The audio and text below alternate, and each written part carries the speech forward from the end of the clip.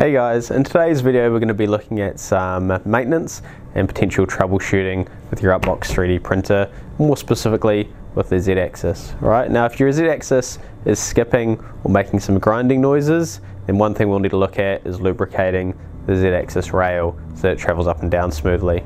It's a good idea to do this anyway as a preventative measure because this UP Box is a piece of machinery, it will need lubricating from time to time, so we're going to look at that. Now after we've looked at that, we're going to look at doing the X and Y rails as well.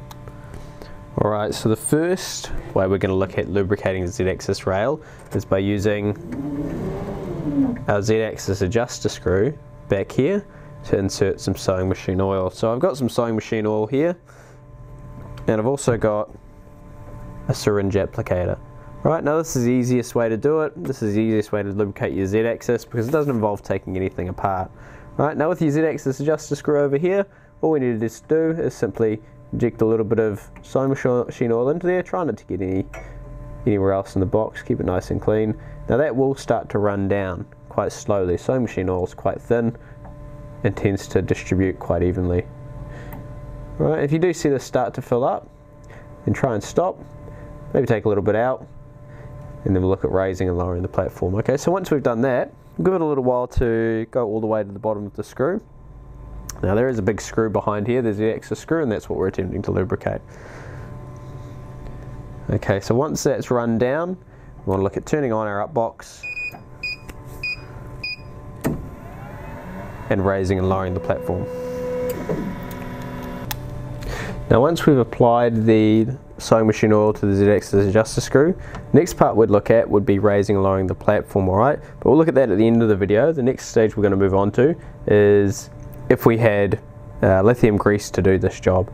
Right now doing it with lithium grease because it has a spray applicator would involve removing this back panel here and accessing the screw directly.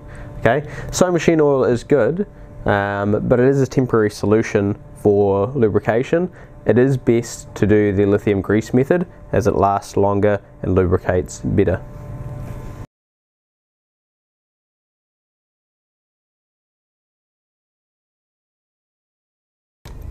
Alright, so just unplugging or unclipping our rainbow cable that's covered by this black covering and sliding it out of the hole at the bottom so that we can raise this panel all the way up. There we go.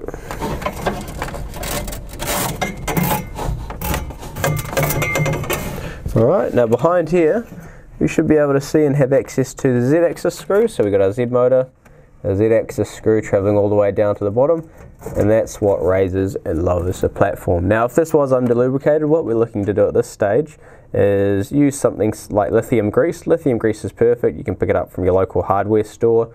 Uh, most places will supply it, and we'd give this a decent spray with lithium grease. Now one more thing that you will want to do is just put something behind the Z-axis screw, piece of paper, just to prevent uh, any, any spray getting around the back of the printer, prevent any mess. So we try to keep it contained. Alright, so we've exposed our Z-axis panel, uh, Z-axis here, we've moved the Z-axis panel, so we're going to give it a spray with some lithium grease. Now again, place some paper in behind, just to prevent overspray going back. In fact, one of the most important things we're protecting here is the motherboard, which sits just behind. So with that piece of, piece of paper in place, protecting our back, we'll just give it a quick spray. Some lithium grease at the top. Then we'll go underneath.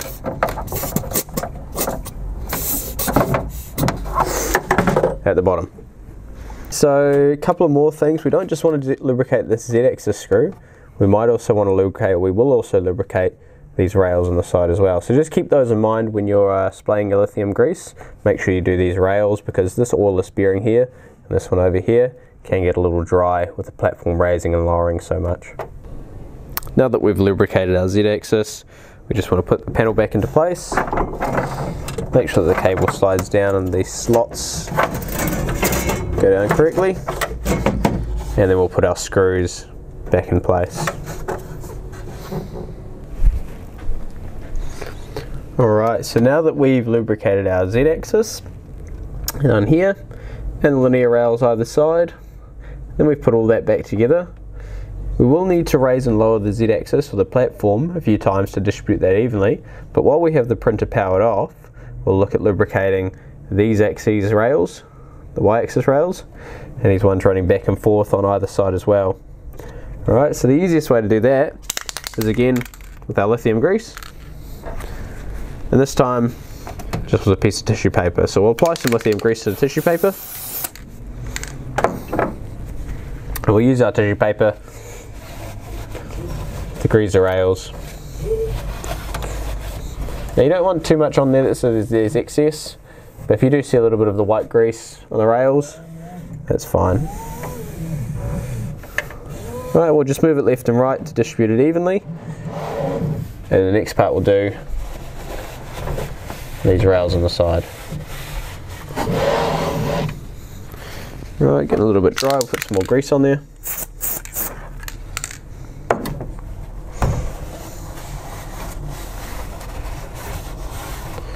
And we'll do the other side as well.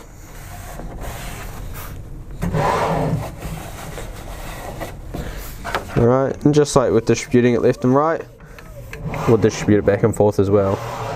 Make sure we get a nice even coating. There you go.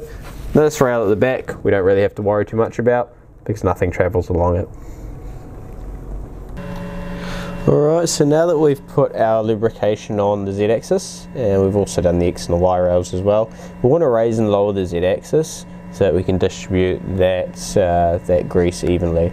So in our dialog box in our maintenance window here, or calibrate window, sorry, uh, we'll type in 200. Now the UP Box has a range, a height range of about 203 to 208, so 200 is pretty close to the top. Now we'll type in 200 and we'll just click move.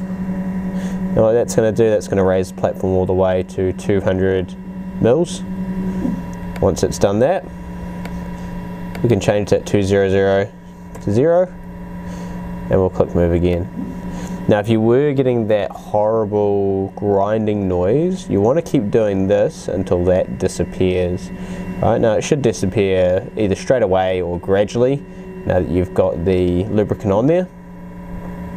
So you do that a couple of times uh, until it disappears and then once you've done that you'll need to reinitialize your printer again only if you're getting the z-axis grinding if you're doing this lubrication is a preventative measure don't worry too much Otherwise, make sure you initialize your printer and make sure that the Z-axis grinding noise has gone away completely before you start to print. If it's still there, you may need to think about relubricating your axis or simply raising and lowering the platform a few more times.